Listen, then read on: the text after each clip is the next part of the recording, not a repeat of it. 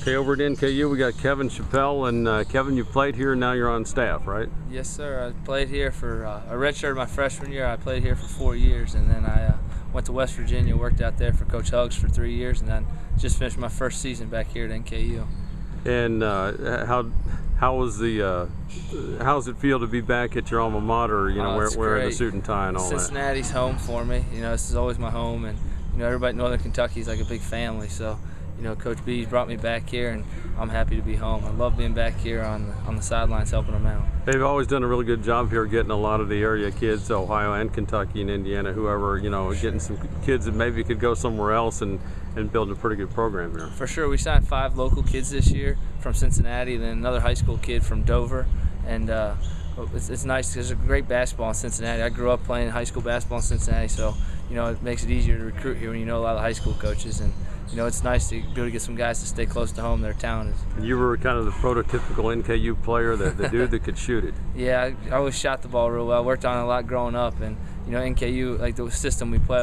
Coach Bees loves guys that can shoot the ball. They're very skilled and can shoot the ball, so it was a good fit for me to come here. So Now- it's good to find guys that can do that. Now, at, at Loveland, uh, do you remember your stats at all? I mean, I'm, I'm sure you were double figures.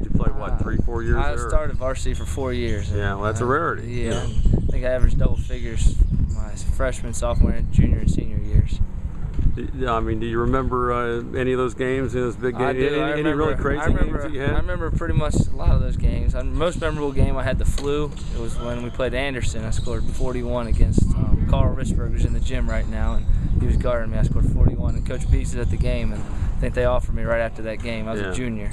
Now, I went to Anderson, and you're, you're hurting me now. and and you did the same thing here, though. You it, you know you were able to put the ball in the hole. Yeah, well, luckily I, I played behind some good players as a freshman sophomore and worked on my game, didn't get frustrated, stuck with it. And then my junior year, I was all conference and continued that as a senior and played real well in my last two years here. Uh, the NKU teams, I, I would, I still do go to Deveroes, and, and every now and then you'll see a, a team of, of kids from NKU, and then a team at the other end shooting layups, and one team will look so much bigger and so much more athletic, and they kind of look down at the little Norse guys, and they think we got this one in the bag, and the next thing you know, the NKU guys, guys like you, uh, are, are firing the ball in, Yeah, the and, guys and, we uh, have you know, guys like Kelsey are just killing them. Yeah, our guys are, you know, we played against the one thing about the Deveroes League that's nice is we can play as a team. Our whole team's allowed to enter since we're still Division Two, so we're allowed to enter as a team. And our guys go out there, they know each other, how they play, and we all shoot the ball well. And there's not a lot of defense played over there, so you can, if you get an open shot, our guys should be able to knock down 40% or better from the three-point line. Well, that's the bottom line: teamwork and, and shooting, and Uh-huh. sometimes that's overlooked. yeah, if you can shoot the ball and pass the ball, you can play anywhere. I think.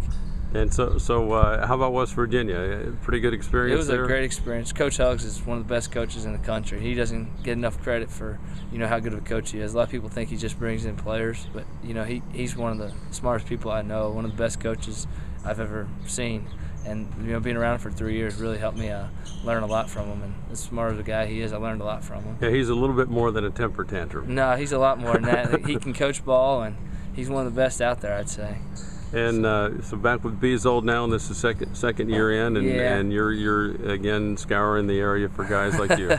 Trying to find good players, the best ones, so we can keep winning games and try to win a championship here. All right, well, good to catch up to you. Oh, Sorry to bring you you. outside and make oh, you sweat it's all like sweating that. out here. It's 80, Yeah. 90 degrees yeah, out here. yeah, we'll make you work for these, these interviews here. Oh, thank you. Kevin Schappell.